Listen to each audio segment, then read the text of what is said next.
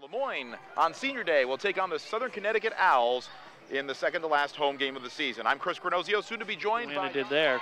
Wesley. Got the ball stripped by Riddick from behind, and then she gets the feed up court. The running bank shot is good and a foul in transition. Rebounded by Roberts. Roberts into the right corner. Demand wide open three. Bullseye! Beautiful assist by the top assist player in the league. Foul line. Left side to Malay. Back to Lessig, who steps into a three. Good for the lead and a foul. Underneath on Southern Connecticut. So this Expect Southern to get a shot off, so take whatever you can get. Malay sidesteps a defender. A three for the tie is good. Liz Malay. She didn't make the. Taking any more open looks. She does not want to shoot in this game. She lobs to Dabrowski. Nice play out of the timeout. And Dabrowski scores as they sweep the season series from Le Moyne and win it 55 46. The Dolphin offense.